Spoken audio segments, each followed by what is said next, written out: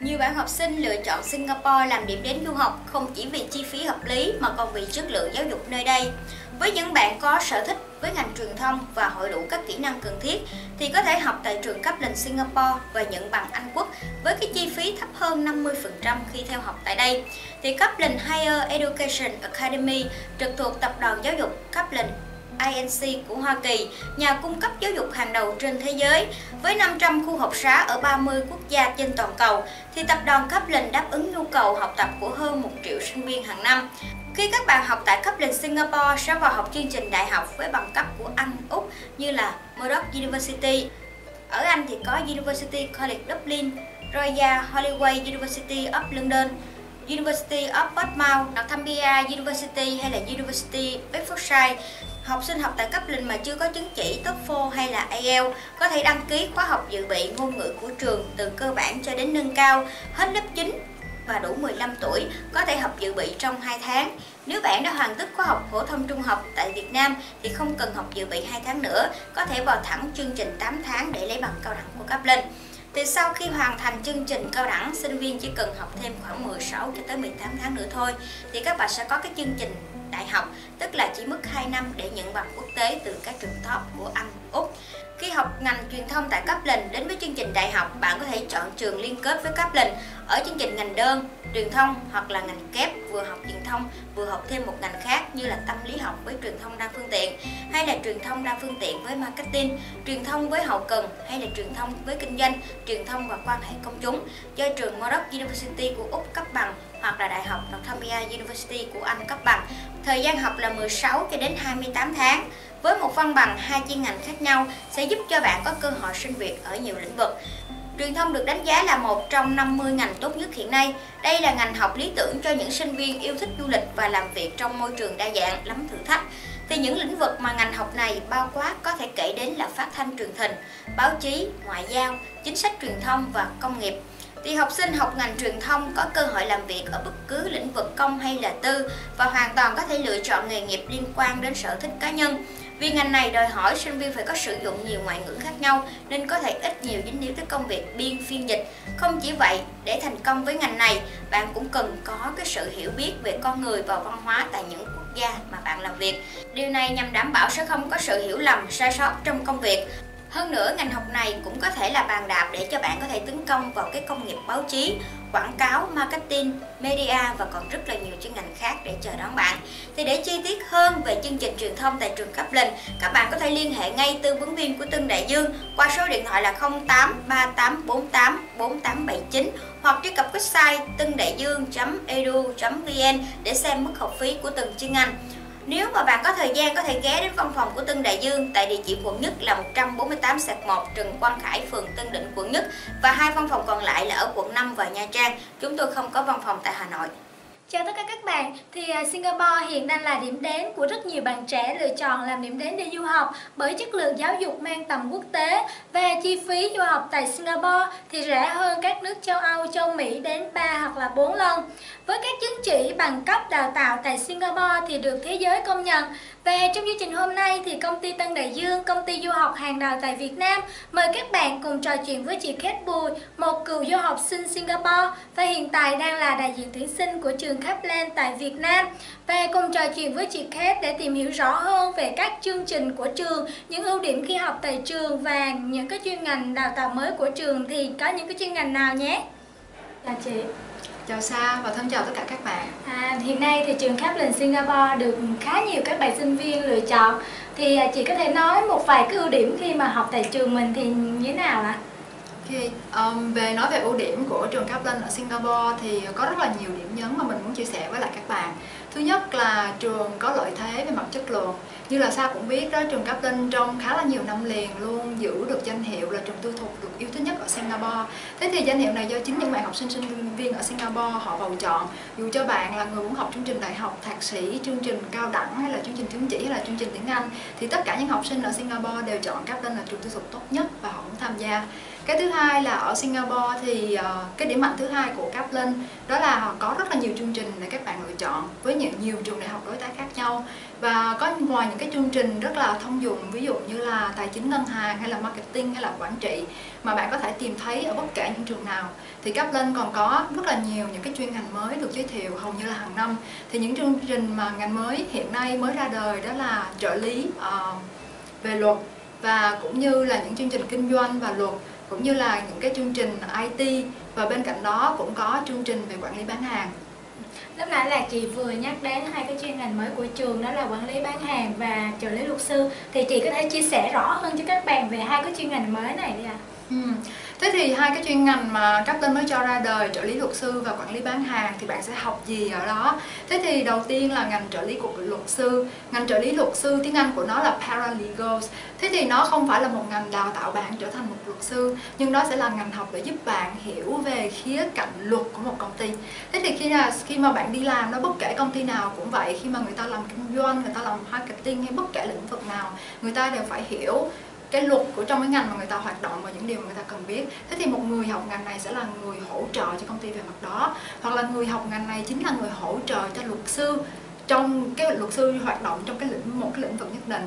Ví dụ bạn không phải là luật sư nhưng mà bạn sẽ biết thảo những cái hồ sơ luật như thế nào và bạn biết những cái điều cần biết của một công ty khi hoạt động trong lĩnh vực đó về luật là như thế nào và ngành này thật sự mà nói thì nó đã phổ biến trên khá là nhiều nước, đặc biệt ở Singapore. Đa số hầu như là rất là nhiều các công ty họ tuyển họ dụng cho ngành này khá là mạnh và lương của ngành này rất là cao. Ví dụ như ở Singapore, một sinh viên học ngành này, khi mà tốt nghiệp thì lương trung bình khởi điểm của họ có thể là ba nghìn mấy, gần bốn nghìn một tháng, cao hơn rất là nhiều so với những cái ngành khác. Ở Việt Nam mình thì nó có thể là một cái khái niệm mới, thế nhưng mà mình nghĩ là nhu cầu, về nhu cầu thì ở Việt Nam cũng không không thể là thiếu trong ngành này được. Đó còn uh, ngành thứ hai là ngành uh, quản lý bán hàng. Thế thì quản lý bán hàng là như thế nào? Đó là dành cho những bạn làm về ờ, nhân viên bán hàng hay là bạn làm marketing cho những cái ngành mà bán sản phẩm đến người tiêu dùng? Bạn có thể làm quản lý một siêu thị hay bạn có thể làm quản lý của một cái shop hay là một cái chuỗi uh, hàng hóa nào đó. Thế thì ngành này sẽ đào tạo cho bạn những cái kiến thức cần thiết để mà bạn biết rằng khi mà tôi bán những cái sản phẩm đến tay người tiêu dùng thì đâu là những điều mà tôi cần biết và làm sao để mà tôi nổi bật hơn so với những nhân viên bán hàng khác dạ còn những cái bạn mà nếu mà muốn qua học tại trường mình đó chị mà chưa có đủ cái trình độ anh văn hay là chưa có một cái bằng cấp nào anh văn thì có thể là apply vào trường mình được không thưa chị? Ừ. Đối với cấp lên thì ờ, thường cái yêu cầu tiếng Anh đầu vào để mà bạn vào học cái cấp độ gọi là năm nhất đại học hoặc là một khóa uh, dự bị á, là năm IELTS 5.5 hoặc là tương ứng. Thế mà trong trường hợp học sinh nói rằng em rất là muốn học với Kaplan nhưng mà em chưa có bằng IELTS thì sao? Thì bạn có thể làm một bài kiểm tra tiếng Anh đầu vào với Kaplan. Và nếu như mà bạn qua được bài kiểm tra tiếng Anh đó thì bạn sẽ vào thẳng chương trình chính khóa luôn. Còn nếu không thì bạn có thể chọn học chương trình tiếng Anh của Kaplan. Thế thì Kaplan có một chương trình tiếng Anh nó có tên là tiếng Anh thương mại uh, chuyên nghiệp và có, nó bao gồm 5 cấp độ, mỗi cấp độ sẽ dài 2 tháng. Bài kiểm tra sẽ cho biết là bạn vào và bắt đầu từ cấp độ nào. Và một khi bạn học đến cấp độ cuối cùng là cấp độ thứ năm và bạn hoàn thành thì bạn có thể vào thẳng chương trình chính khóa luôn, không cần phải thi IELTS nữa. Thế thì mình cũng có học sinh như vậy. Học sinh nói với mình là, chị ơi, em rất là thích cái chương trình tiếng Anh của Kaplan, bởi vì đó là chương trình tiếng Anh thương mại chuyên nghiệp. Và theo em được biết thì ngoài bốn kỹ năng nghe nói đọc viết ra, ở cái khóa tiếng Anh này còn đào tạo cho em rất là nhiều kỹ năng mềm. Ví dụ như là kỹ năng thuyết trình, kỹ năng nói trước đám đông cho nên là em rất là muốn qua đó để học tiếng Anh. Nhưng mà em chỉ học tiếng Anh thôi, em không học lên chương trình chính khóa thì có được hay không. Câu trả lời là hoàn toàn được. Bạn có thể qua đó chỉ đăng ký học chương trình tiếng Anh và không cần phải học chương trình chính khóa nếu như bạn muốn. Hoặc là khi mà nghỉ hè, bạn cảm thấy rằng, ồ, tôi có hai tháng rảnh 4 tháng rảnh, tôi muốn qua đó học một khóa tiếng Anh, hai khóa tiếng Anh rồi tôi về. Điều này cũng hoàn toàn được đối với các bạn À, vậy đối với những bạn mà muốn học một cái khóa Anh văn ngắn hàng thôi thì trường mình có cái khóa này dành cho những bạn đang có nhu cầu như vậy không thưa chị? Ừ, câu hỏi của Sa rất là hay và ở Kaplan cũng nhìn thấy được cái nhu cầu này của rất là nhiều bạn học sinh Việt Nam. Vì vậy cho nên Kaplan Singapore vừa ra mắt một chương trình mới đó là khóa tiếng Anh trong vòng 3 tuần. Thế thì khóa tiếng Anh này dành cho những ai? Dành cho những bạn muốn qua Singapore để khám phá đất nước Singapore như thế nào. Đó có thể là một chuyến đi du lịch rất là thú vị với bạn và đồng thời bạn kết hợp với đi du học trong vòng 3 tuần. Và ngoài ra cũng để cho các bạn trải nghiệm về Kaplan trước khi các bạn thật sự đăng ký để học một khóa của chương trình dài hạn. Thế thì khóa tiếng Anh này dài 3 tuần, bạn sẽ đi học từ thứ hai cho đến thứ sáu và trung bình là 5 tiếng một ngày. Và chương trình này bạn không cần phải có một cái visa uh, sinh ờ, của sinh viên bạn có thể uh, dùng visa du lịch để mà qua đó đi học và đi du lịch đồng thời và chương trình tiếng Anh này thì nó hay ở chỗ là bạn sẽ vẫn làm bài kiểm tra tiếng Anh để xem trình độ của mình ở đâu. Và giáo viên sẽ xếp bạn vào ngay lớp đúng trình độ của bạn để bạn có thể học tập và trau dồi tiếng Anh trong vòng 3 tuần. Và chương trình này khi mà ra đời tức là ngay ngày ngay sau cái ngày mà Cáp lên ra mắt chương trình này thì có rất khá là nhiều bạn học sinh đăng ký. À, bởi vì cái lợi thế của nó là bạn có thể đăng ký ngày hôm nay và ngày mai bạn lên đường qua Singapore học nghề không phải đợi và khóa này cũng được giảng vào mỗi tháng cho bạn còn về học phí thì cũng rất là hấp dẫn tiếng Anh 3 tuần này tổng học phí sẽ là 1.070 đô la Sing Vậy thì cái yêu cầu là vào của cái chương trình này có yêu cầu là sinh viên là phải à, từ bao nhiêu tuổi trở lên không thưa chị? Yêu cầu của khóa tiếng Anh này là sinh viên sẽ cần phải 15 tuổi trở lên. Và một cái ưu điểm của trường mình đó là ngoài cái chương trình như là về Anh văn rồi những cái chuyên ngành mới thì trường có một cái chương trình học rất là hấp dẫn. Đó là chương trình bàn kép lấy bằng của trường mà đến của Úc. Thì à, chị à, có thể là chia sẻ cho các bạn rõ hơn về cái chương trình này. Đấy ạ. À, về chương trình bằng kép của trường Đại học Modoc của Úc. Thế thì như các bạn biết đó, Kaplan đã uh, hợp tác với lại Modoc để đào tạo chương trình của Modoc của Úc ngay tại Kaplan Singapore trong rất là nhiều năm. Và một trong những điểm rất là hấp dẫn đối với những bạn sinh viên không chỉ là sinh viên Việt Nam mà ngay cả người Singapore hay là bất kể sinh viên quốc tế nào khác đó là Modoc giảng dạy chương trình bằng kép. Thế thì bằng kép là như thế nào? Lấy một ví dụ như là khi bạn lên đại học, bạn rất là thích học quản trị du lịch khách sạn. Thay vì học một bằng đơn như vậy thì đối với Modos bạn có thể học quản trị du lịch khách sạn cùng với một chuyên ngành nữa. Ví dụ như quản trị du lịch khách sạn cộng với marketing, hay là quản trị du lịch khách sạn cộng với quản trị kinh doanh, hay là quản trị du lịch khách sạn cộng với PR vân vân và vân vân. Và trường Modos sẽ thiết kế một chương trình để bạn hoàn thành hai chuyên ngành như vậy trong thời gian là khoảng 16 cho đến 24 tháng. Học phí không có gì thay đổi cả, tổng số môn bạn học cũng không có gì thay đổi cả.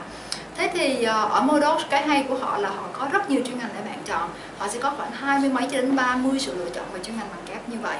Ngoài ngành quản lý du lịch khách sạn ra thì bạn còn có những sự lựa chọn như là ngành kinh tế, ngành tài chính, ngành ngân hàng, ngành truyền thông, ngành media, ngành tâm lý học, ngành uh, ngành luật và kinh tế và cả thậm chí cả ngành IT thì tùy theo cái sự lựa chọn của bạn về bằng kép Modos có rất là nhiều sự kết hợp cho bạn thì rất hẳn là cái chương trình này lại thu hút được khá nhiều các bạn sinh viên lựa chọn đúng không thưa chị? Khi mà đi du học thì à, các bạn phụ huynh cũng như các bạn học sinh là lo lắng là cái thời gian đầu khi mà qua trường. Thì không biết là trường mình có cái hỗ trợ nào dành cho các bạn khi mà thời gian đầu qua trường không ạ? À, đặc biệt là đối với Kaplan thì hầu như các bạn sinh viên Việt Nam và phụ huynh Việt Nam không phải lo lắng. Bởi vì ở Kaplan thứ nhất là Kaplan có khá là nhiều nhân viên người Việt. À, chúng tôi có một nhân viên người Việt làm việc ngay tại đây để mà uh, tư vấn cho các bạn trước khi các bạn đi nếu mà các bạn cần thiết. Ngoài việc là các bạn có thể đến công ty Tân Đại Dương để được tư vấn. Và khi mà các bạn qua Singapore thì tại ngay trường Kaplan ở Singapore cũng có một nhân viên người Việt để mà có thể trao đổi với các em trong cái khoảng thời gian đầu các em chưa quen với lại tiếng Anh ở đó và ngoài ra thì trong suốt cái quá trình đăng ký và học ở Kaplan, hầu như là học sinh không phải lo gì cả. Bởi vì một khi Kaplan nhận được hồ sơ của bạn thì Kaplan sẽ tự khắc lo tất cả những cái thủ tục visa còn lại cho bạn. Và khi visa của bạn thành công thì thư sẽ được chuyển về đến công ty Tân Đại Dương và Tân Đại Dương sẽ hướng dẫn bạn in visa như thế nào và sang đó như thế nào thế thì khi mà bạn sang đến Kaplan rồi thì sẽ có một cái buổi gọi là buổi khai giảng. Và tại cái buổi khai giảng đó lại có rất là nhiều nhân viên để mà lo cho bạn. Khi mà bạn ở đó thì người ta sẽ giải thích cho bạn khi bạn đặt chân qua Singapore để mà lấy được cái visa thì bạn phải khám sức khỏe, rồi bạn phải đặt hẹn với cục di trú. Nhưng mà bạn không phải làm những việc đó Kaplan sẽ làm cho bạn từ A cho đến Z. Thế thì A cho đến Z có nghĩa là sao? Ngay sau buổi khai giảng thì sẽ có nhân viên của Kaplan đưa bạn đi khám sức khỏe. Khi ờ, khám sức khỏe xong có kết quả khám sức khỏe thì sẽ có nhân viên lấy kết quả khám sức khỏe cho bạn. Cũng sẽ có nhân viên đặt hàng với lại cục di trú. Ngày đó tháng đó sinh viên này của tôi sẽ lên đây để lấy uh, thẻ visa. Và đến ngày đó tháng đó nhân viên của Kaplan sẽ đưa bạn lên cục di trú để lấy thẻ visa. Hầu như là bạn không phải lo gì cả. Việc duy nhất mà bạn cần làm là bạn cần có mặt tại buổi khai giảng và để lại số điện thoại mà chúng tôi có thể liên lạc Vậy thì đối với những bạn mà đã tốt nghiệp ừ, tại trường mình, thì không biết là bên trường có những cái hỗ trợ việc làm nào dành cho các bạn sinh viên sau khi tốt nghiệp không ạ? Ừ. Thế thì ở Kaplan nếu mà mình nói riêng về học sinh Việt Nam thì cũng có những bạn tốt nghiệp và đang đi làm tại Singapore hoặc là dù cho các bạn có về Việt Nam thì các bạn cũng có những công việc rất là tốt và thế thì câu hỏi là làm sao để mà một học sinh sang học ở Kaplan và sau đó tìm được một việc làm thì ở Kaplan có hẳn một văn phòng để hỗ trợ cho sinh viên trong những việc này thế thì văn phòng đó làm việc gì? Họ sẽ tổ chức rất là nhiều những cái buổi hoạt động ngoại khóa, cũng như những cái buổi học miễn phí cho học sinh. Và họ sẽ dạy cho bạn điều gì? Họ sẽ dạy cho bạn. Nếu mà bạn muốn tìm việc ở Singapore thì đâu là những nguồn tìm việc mà bạn có thể vào. Họ sẽ dạy cho bạn cái cách viết CV như thế nào để bạn có thể lọt vào mắt của nhà tuyển dụng. Và khi mà bạn lọt vào mắt của nhà tuyển dụng rồi thì họ sẽ dạy cho bạn kỹ năng đi phỏng vấn như thế nào, ăn mặc lúc phỏng vấn như thế nào. Và khi bạn đi phỏng vấn thì ở bất kể công ty nào sẽ, chắc chắn sẽ có những câu hỏi mà ai cũng hỏi thì bạn sẽ trả lời những câu hỏi đó như thế nào. Đó, làm sao để sinh viên của các tên nổi bật hơn những trường khác và được người ta, nhà tuyển dụng chọn. Thì đó sẽ là toàn bộ những kỹ năng mà trường nào tạo cho bạn và không trả bạn một phí nào cả và thậm chí có bạn sinh viên uh, sau khi học xong những cái buổi uh, học về viết CV ra sao các bạn về viết CV của mình nhưng mà không rõ là có tốt hay hay không thì các bạn có thể đặt hẹn với văn phòng đó và người ta sẽ chỉnh sửa CV cho bạn Dạ, chị. rất là cảm ơn bạn Sa Hy vọng với những chia sẻ của chị Kate thì quý phụ huynh cũng như là các bạn học sinh yên tâm khi chọn Kaplan làm điểm đến du học của mình.